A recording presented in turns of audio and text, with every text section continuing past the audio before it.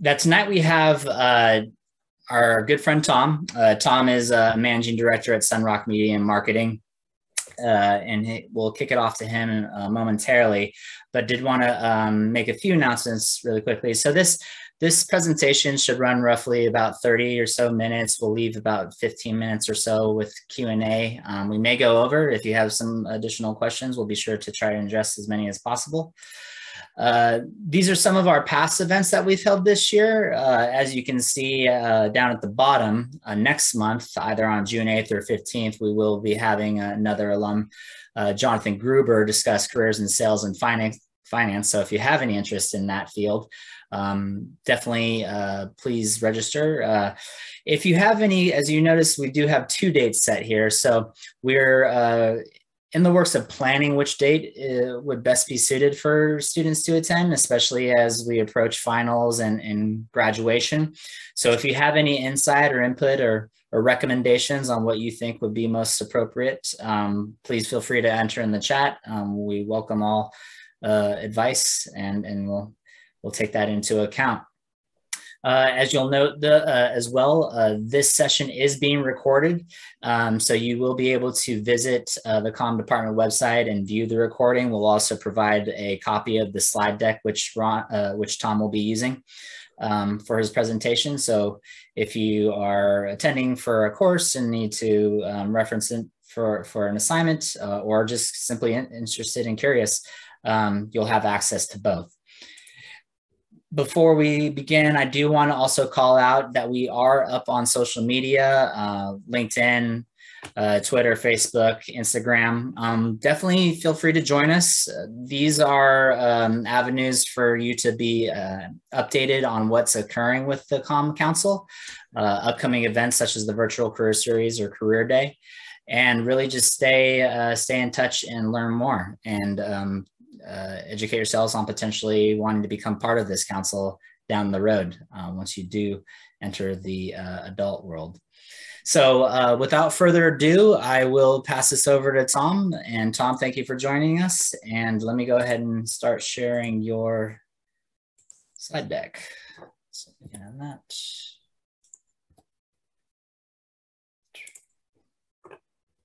There we go.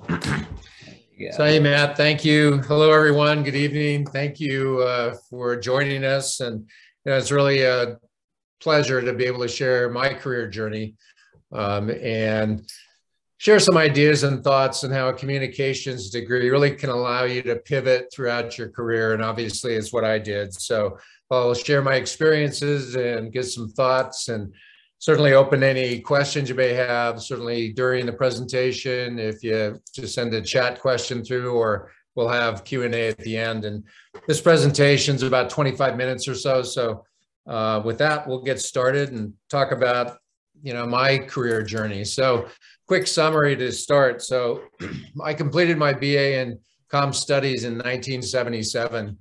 Um, focused a lot on mass communications and was interested in television production. So accepted a, I accepted a TV production summer internship at the NBC station in Los Angeles. And after a three month summer internship, uh, was hired onto the show. So that gave me an opportunity to not only first get to understand what TV production is all about, but then because I was, you know, in the industry, I was hired onto the show and started my career. And I did that for about a year and realized it really wasn't for me. So I returned to UCSB to get my master's degree in 78 and earning the master's degree in 1980. And my thesis was on the effectiveness of video within a corporate setting. So obviously that's a little bit of a pivot from my uh, TV production, but it uh, allowed me to get into something new and, and very unique. So next point. So then I obviously launched my career beginning in corporate video and then continued to evolve throughout my career. And just here's some of the titles.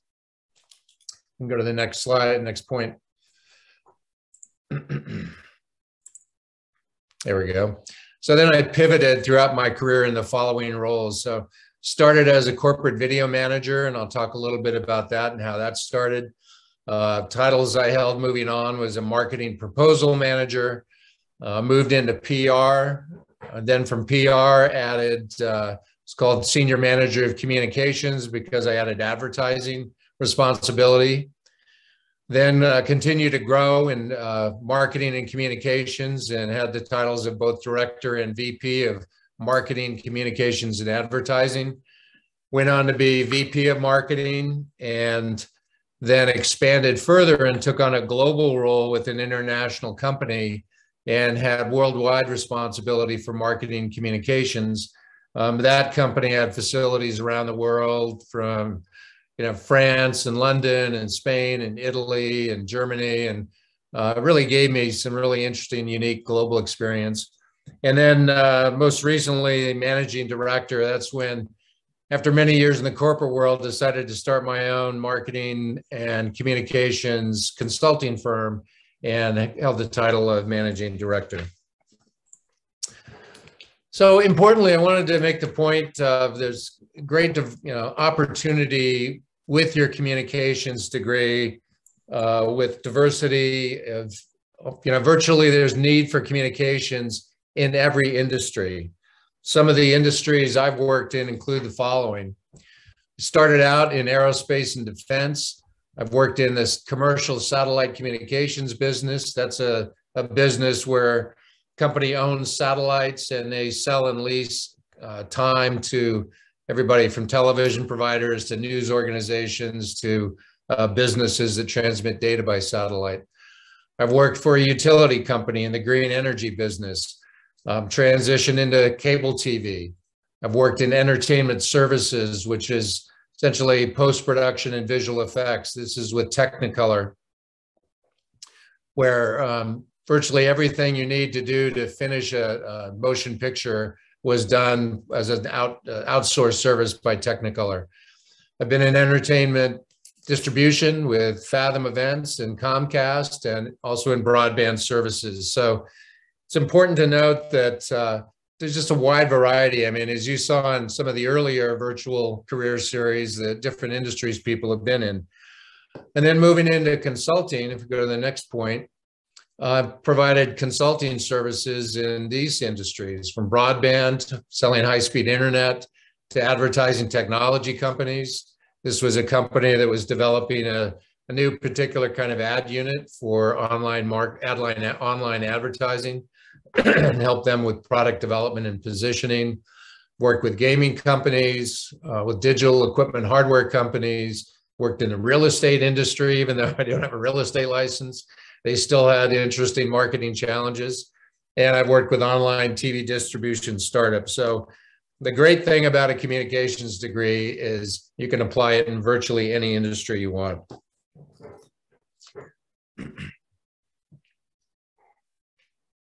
One of the issues that um, you know I faced early on when I was in Santa Barbara was, you know, how do I get some practical experience when I'm in a theoretical education? So in my senior year, I started to think about what I would do next and how could I get some real world practical experience or exposure to a field of interest. So as I said, I had interest in mass communication and media. You know, I didn't have any practical experience, but I needed additional units to graduate. So I worked with a professor and created an independent study class. It was just me and the professor and uh, the way I designed it, it would require connecting with TV producers and industry personnel. Now, uh, if you know anything about TV production, it's very nepotistic. I did not have any industry connections. So um, I used this project as a way to connect with people in the industry, but it required letter writing, cold calling, get interviews for the project. And then fortunately, following one interview, an executive producer offered me the summer internship that I'd mentioned earlier. So again, it was a way for me to balance the theoretical education by you know actually getting into an industry I thought I wanted to work in. Um, for my master's thesis, kind of the same thing. I started off wanting to do a theoretical piece on children's television and the effectiveness of children's television, tying together, you know, the production experience with, you know, something that I was passionate about. But after I began uh, doing the research survey of all the work that had been done in that field, I really discovered it was a saturated field and really wouldn't help me land a job. Um, so, you know, I stepped back and I pivoted again and uh, discovered a new area, which was corporate video. And at the time, this was fairly new that big corporations were starting to spend a lot of money and putting television production facilities and teams within their corporation to create all the things they need for corporate communication. So again, I didn't want to do something just purely theoretical. So I conducted a corporate video effectiveness study with a major international airline.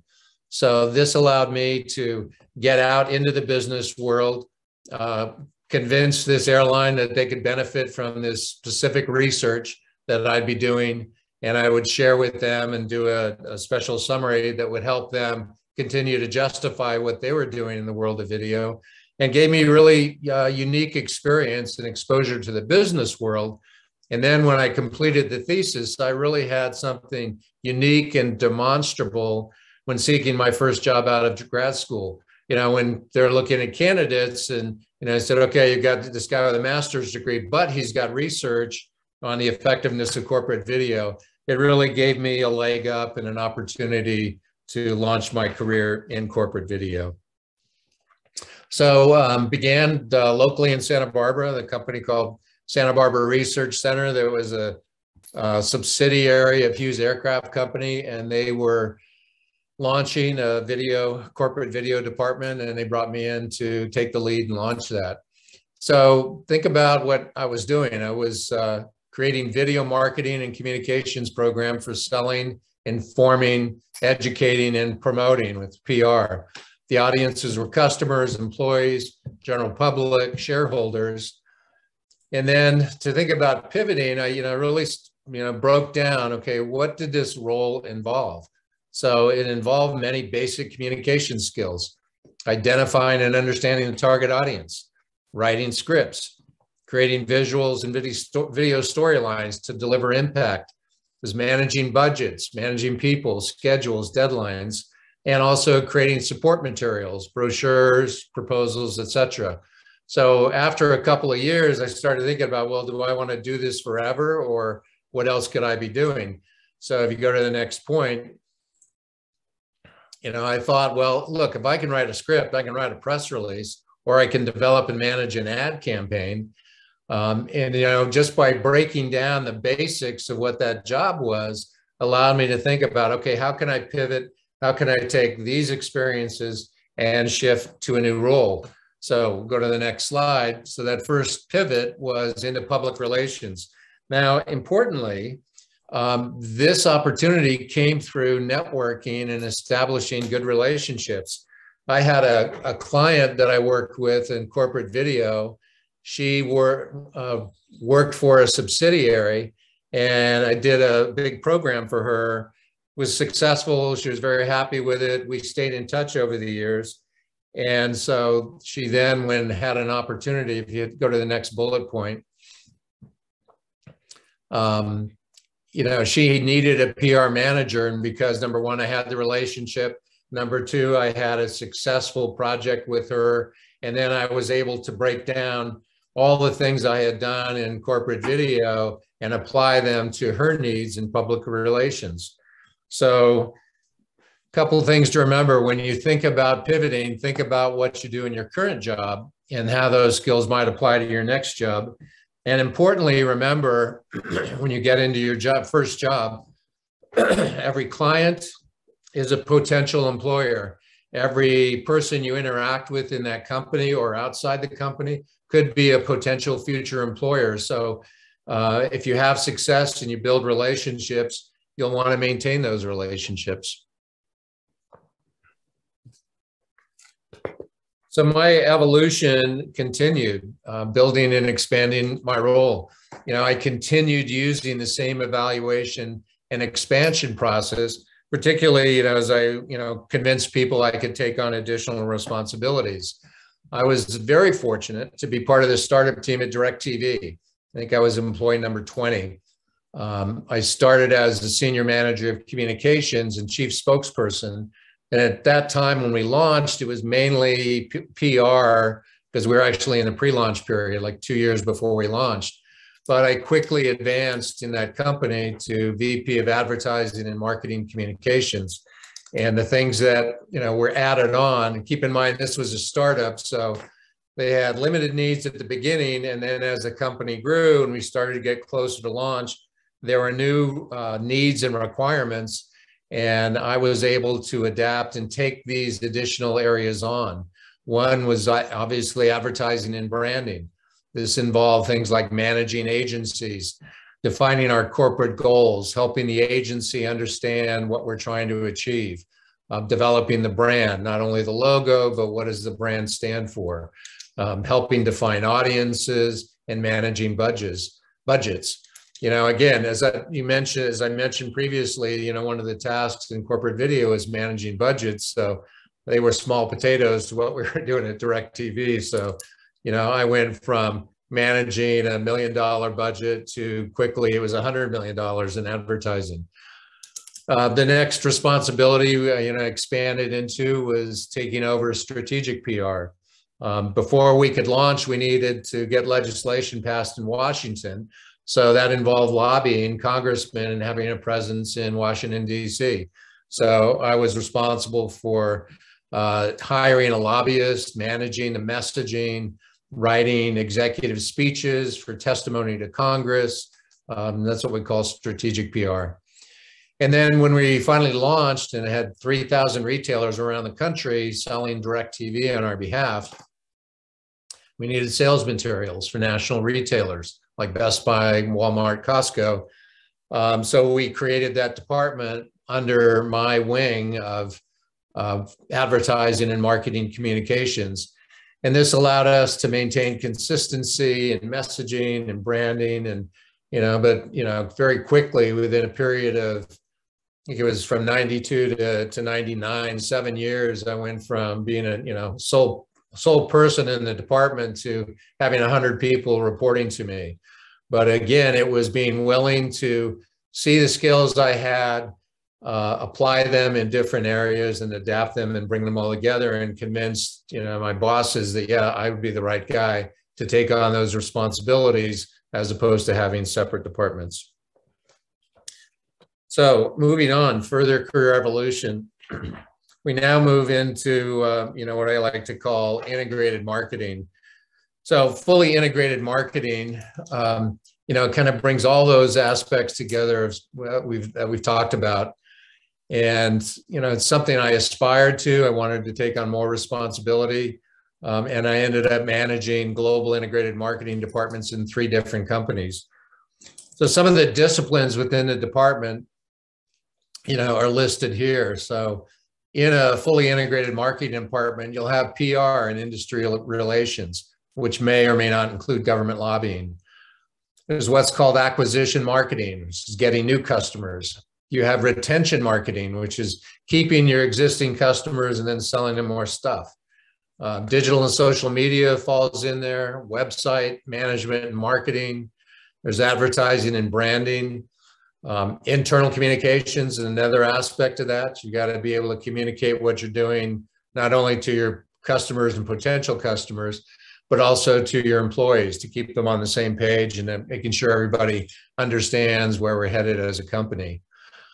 Um, there's event planning and trade shows. I mean, this is uh, something that maybe some people don't realize, but typically corporations have event planning and trade show departments. These are people that put on customer events, put on trade shows, design trade show booths, or work with companies that do that, manage the trade show and you know getting the graphics and handouts and look and feel and booth space, scheduling people, and you know it's a whole different aspect that you know, also somebody with a communications degree would be appropriate for. So if you look at any of the things on this list, these are all, in my belief, things that you can do with a communications degree. It all depends where you want to specialize. And again, these are not unique to what I was doing at DirecTV or the other entertainment media companies. You know, every com- company in the country has similar needs for these kind of things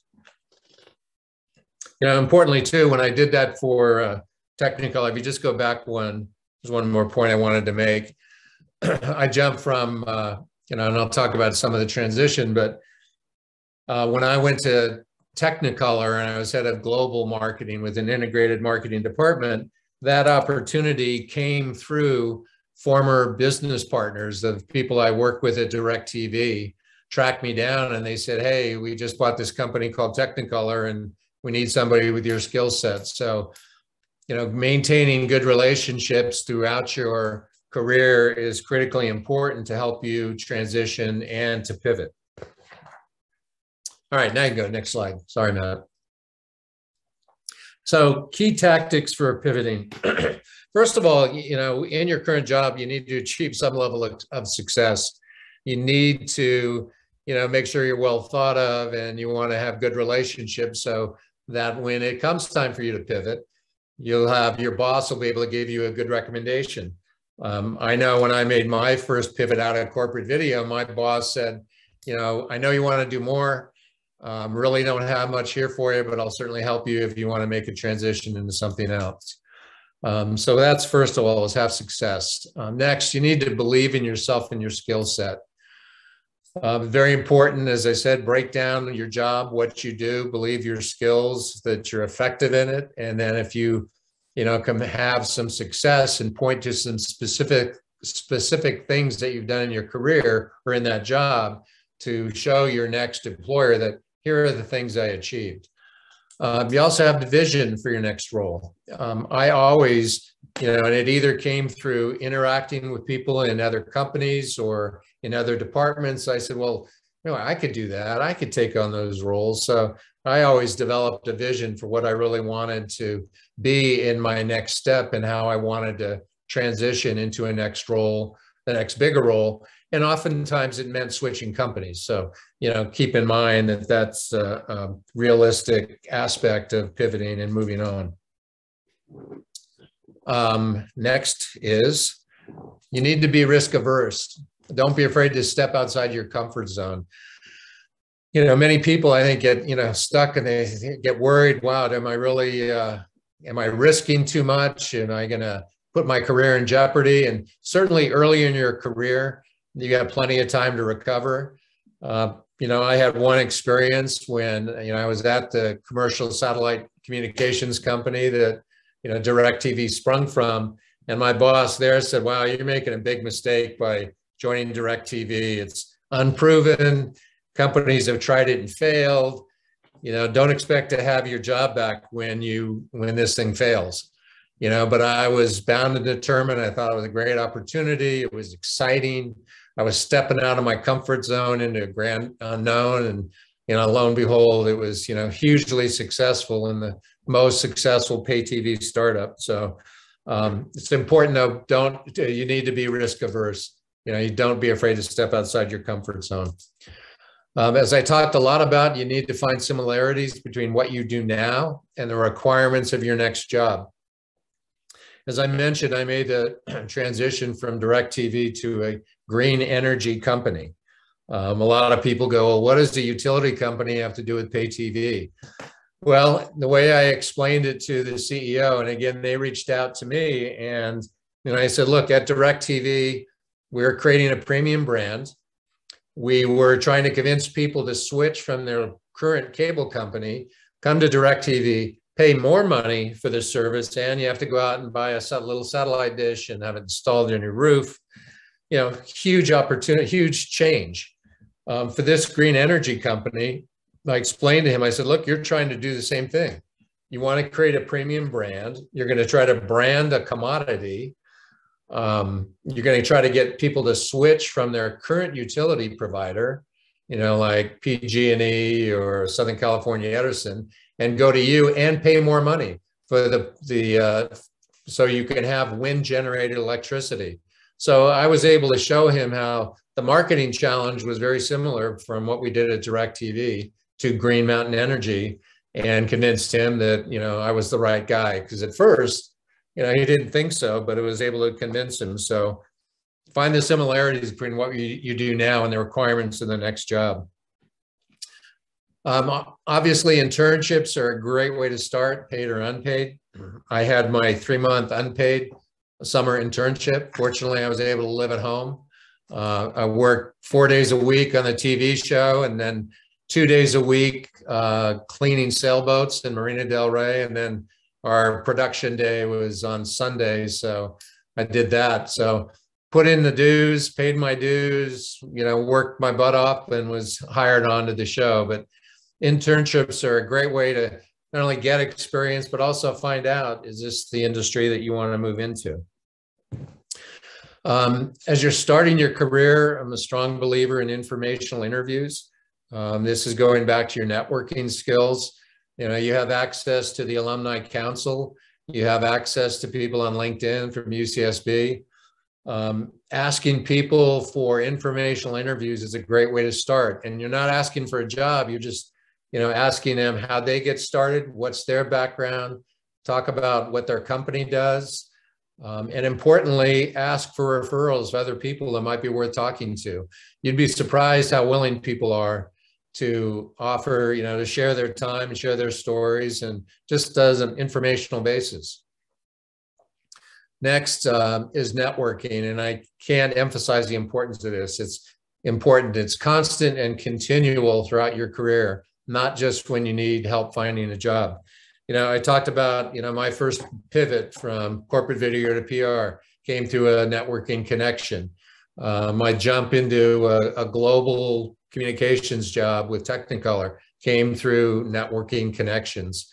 Um, after many years in LA and the corporate world, my wife and I retired and living in LA and decided to sell the house and just, you know, take a flyer and we moved to Denver and again, I used these techniques, informational interviews and networking to re- get reestablished there, reaching out to people I knew in the industry. Um, they were more than willing to help, just find out, you know, what companies are in Denver, what companies might be uh, in need of marketing services.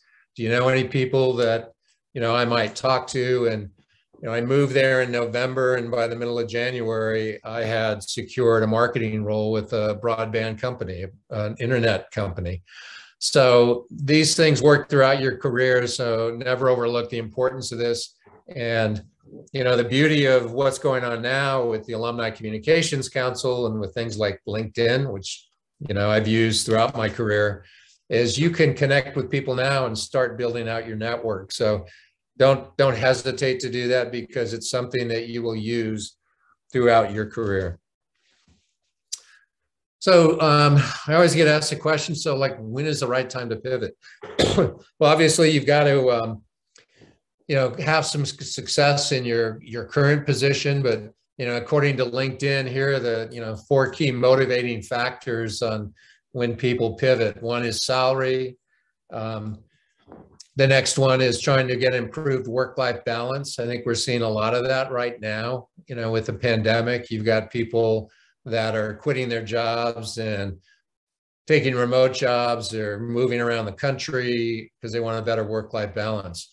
Um, you know, you another motivating factor is you want to learn and grow, and then also you want to have greater impact in your job. So when is the best time to pivot? I'll step through a couple of you know supporting points here, if you would, Matt. So first off, um, growth in your current position is limited. Um, you'll know when there's a you know growth is limited. You know, again, you need to be there long enough to understand that and find out there's no further opportunity. But um, that's one time to start to pivot.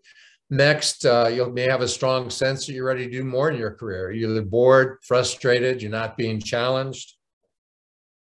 Next, and probably the biggest motivator is you want to make more money um, and take on new responsibility. Um, and then finally, a way that has helped me throughout that are recruiters that will reach out to you. And this is where you need to apply some of the things we just talked about that recruiter will say, Hey, I've got this position. And then you'll need to explain how your current experience would apply or be appropriate in that new position. So again, I talked about, you know, how I went from DirecTV to Green Mountain Energy to a wind generated electricity company, you know, and I had to explain how the marketing challenges were similar. But recruiters will contact you throughout your career, um, and that's a you know a great opportunity that really will help you achieve kind of all of those things particularly they they not only offer more responsibility, but particularly particularly you'll have an opportunity to increase your salary. Kind of in summary, um, you know, I wanted to just you know go through this slide and just reiterate the versatility of communications degree. You know, a COM degree provides you with the skills that can be applied in many different ways. You know, we talked about a lot of the skill sets within uh, communications degrees. It can be PR, could go into advertising. You can go into marketing and integrated marketing and all the different things that I listed on that slide. Um, there several people took their com degree and they went to law school. I've got another uh, former roommate actually went into the legal industry, but he became a jury consultant. So he applied it in a very different way. You know, we're in a highly charged political environment these days. So politics has huge need for communications people, uh, not only as chief spokespeople, but PR people, work with the media, work with social media. Uh, there's also a need in nonprofits. So importantly, communication skills are needed in virtually every industry. Um, don't overlook that. You really need to, you know, find something that you're passionate about or find an industry that you're intrigued about and you know there are there will be communications jobs within that. With a com degree as i hopefully have explained it really enables you to pivot throughout your career. There's so many ways to apply communications degree. You know i not only started my own marketing and pr firm and worked with a lot of different industries but i'm also volunteering and running a, a nonprofit here in oregon. Um, and again that's a lot of you know communication skills it's networking, it's writing, it's managing people, it's managing projects and budgets. It's all these things that, you know, for me have fallen under communications. So with your degree, and I'm and hopefully you'll all be graduating soon, you know, I really believe it provides you with a rich and rewarding career path that'll can keep you intrigued, motivated, challenged, and inspired throughout your career, you know, and even post career. So for me, it's been uh, a really interesting journey and lots of twists and turns, lots of excitement. Um, you know, my wife always jokes, she goes, How'd you survive, you know, in the corporate world? You know, there's positive things, but also then there's, you know, the corporate travel I did. I think I booked over 3 million airline miles traveling to all these different locations as part of my, you know, corporate marketing job. So paid a bit of a price with that, but you know, exposed me to a lot of amazing experiences, unique people that I've met around the world, and have built a really strong network. So, you know, that's uh, I think the opportunity ahead of you. So with that, I'll stop my yakking and open it up to any questions people may have. Thanks, Tom. And, and definitely please feel free to come off mute if you'd like to ask your question to Tom directly. You can uh, continue to ask questions in the chat if you've done so already. Um, I actually have a question, uh, Tom, um, just to kick things off. Uh, given your vast experience in a variety of different industries and a variety of different roles um, over the course of your career, have you noticed or seen a shift in hiring practices amongst all those industries um, based on what you used to see and what you see now? You know, not. I just think there's a strong need for it. I mean, in um, you know, most before Sunrock Media and Marketing, I worked for a company called Fathom Events, and you know, the hiring practices really didn't change. I mean, we needed people kind of in all those areas. Um, certainly, there's more need for people with understanding of digital media and technology and social media. You know, it's uh, probably greater importance on some of those tactics being used today. Digital marketing kind of is uh, a growth, but you know, I think there's still you know strong demand. You know, and, and keep in mind, I you know I focused on the corporate world, but also there are all these agencies you can go work for, PR agencies, ad agencies, marketing agencies, crisis communication agencies. You know, there are many different ways to do it because all these agencies are typically then hired by the corporation. So there's kind of different way angles to come at. Um, but no, I haven't really seen you know change in hiring practices other than you know people still needing people but needing broad-based skills. Great, thank you. I have a. This is Ron. Um, you mentioned that you moved in one job from a million dollar budget to another job with a hundred million dollar budget. Now, this is an extremely detailed question. I mean, given the scope of what you've done, but what did you have to do differently? Because you cannot manage a hundred million dollar budget at the same level of detail that you can a million dollars. So, what new skills did you have to develop, or what new processes did you apply? Yeah, um, yeah, it was a pretty big jump, you know, from a million dollar ad budget to a hundred million dollars, and that you know evolved over a couple years um, you know, it was really different audiences. One, you know, the smaller budget originally was uh, was a corporate marketing budget. It was a trade advertising budget, where DirecTV was a consumer targeted budget. Um, so to really make that effective, besides just managing the the spend, you know, was to make sure we were laser targeted. We weren't just throwing money around. So at DirecTV, we spent the first $10 million of that budget on focus groups and market research to precisely define the target audience so that when we did spend that $100 million, um, it was very focused on the right audience with the right messaging. And we knew what the right motivating messages we had to have in the advertising uh, to be effective. Um, it also involved, I mean, you know, with a hundred million dollar budget, we, you know, I hired a couple people to work for me to help with that, but then we hired a big, you know, global ad agency that was expert in not only creating the advertising, but then media buying and media targeting, you know, because that was a skill set that was, you know, not my expertise. We hired experts in the agency that were we're expert in targeting and taking our dollars and spending them efficiently and effectively. Great, thanks. But yeah, I, mean, I just remember the day that my boss, you know, sat down with me on the spreadsheet and was showing how they made the growth of the budget. And I went from my hmm. eyes kind of popped out of my head when he goes, Yeah, and so in the next couple of years, it'll be $100 million a year in advertising. So that was that's one of those things where I went, holy crap! Am I ready to do that? yeah, yes, of course I am. Sure, of course. On the outside, you say that, right? Inside, I was panicked. Outside, I was going, oh, ah, sure, I got that covered. you know, but again, you believe in your skills, you believe in your past experience, and you know, you're willing to jump into it and right. go for it. Hey, Tom, I was curious about some of the demands you're seeing for um, for students coming out of college now. Like, what what are the kind of jobs you're seeing that would be interesting for these folks to consider? Like, what are the most in demand kind of entry level jobs? Are you seeing any trends or any other guidance you think that we might be able to to offer?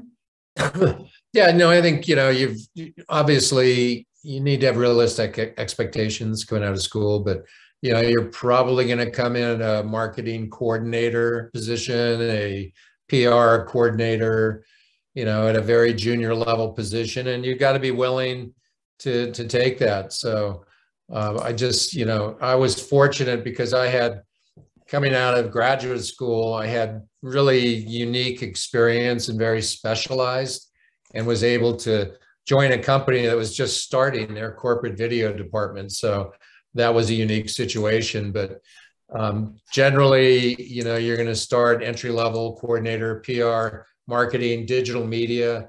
Boy, there's such a need for digital media within corporations to help them with their Instagram, Facebook, Twitter feeds, online marketing. Um, so if you have, you know, expertise in that, starting out as a, you know, digital marketing coordinator is, I think, uh, a great way to start. and again, the other thing I found there's, you know, startups are a great way to get in because you can grow quickly because um, they're always adding new capabilities. And I think there are lots of opportunities if you're in a, a total growth mode. So don't be afraid to, to look at startups. And, and again, you know, find people that, you know, started at UCSB they might, might be willing to, to help you out.